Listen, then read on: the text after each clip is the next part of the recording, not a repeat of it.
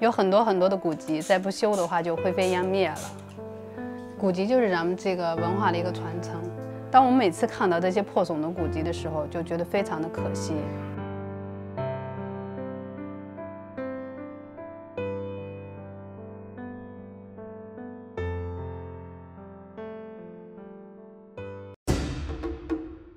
呃，每个周末我都来潘女儿去逛一逛。在市场里面，我有自己的一个固定的摊位，我们会在一起交流一些古籍版本知识呀，还有比如说这个古籍破损应该怎么样去修复。啊，这这是什么书呢？那个有两本医书。医书。你看一下能修一下吗？行行。嗯。你就放这个袋儿吗？对。这样的话好一些。这两本医书是有点风化。有点风化。啊，你看能能能修吗？现在大部分人他们。一听到这个古籍的话，第一想到的是古籍里边的内容，但大家关注这个古籍修复很少。古籍修复其实对我们来说，不是说你因为是年代啊，价格贵，我们会加倍努力的去修复它。其实我们拿到古籍之后是一样对待，就是每个古籍对我们来说，只要我们去修复的时候，都是一样，让这个书可以继续再延续，继续再保存三四百年。您在这儿放一张空白的纸。接一点往下对一点，直接对上去，一点点拼上。对，一点点拼。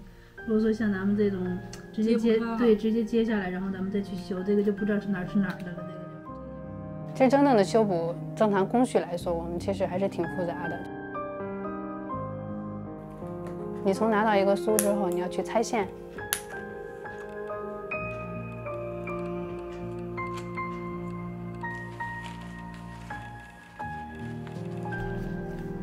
拆完线之后，你要标页码，就是做档案嘛。这个页码你不能给乱。标完页码之后是配纸，配纸就涉及到我们要自己要做一个染色，因为我们现在买到的宣纸的颜色是竹纸的颜色和白纸的颜色。但咱们这个书经过时间的一个洗礼，它的颜色会发黄啊，或者发黑呀。接下来就是我们开始补洞，就开始修补。修补的时候我们要用到浆糊，那浆糊是其实我们现在还是传统的一个手工。而且要根据咱们这个书页的这个纸的厚薄度去调这个浆糊的稠细度。不管它是虫蛀的也好，老鼠咬的也好，我们在补的时候要根据书的破损。那这个纸张要是好的话，那我们就可以选择它的这个大边在一毫米到两毫米之间。您这个书如果说它腐了，就已经糟了，就是比如说棉絮状了，那你要在补的时候，您这个补丁的搭边你就不可以达到一毫米两毫米。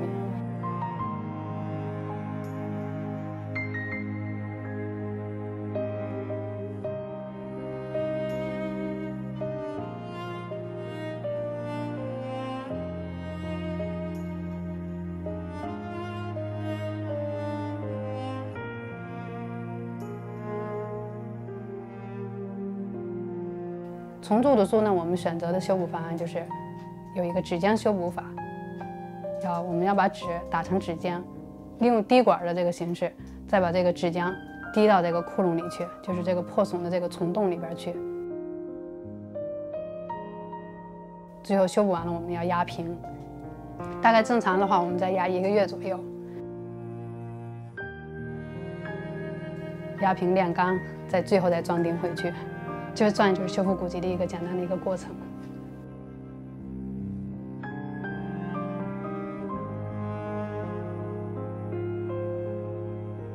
老一辈人都说我们干这个行业的是给庙里打补丁的，其实我更觉得我们是古籍的医生，在给古籍续命，让古籍能够保存的时间更久，文化传承的时间更长一些。其实我感觉累，也枯燥。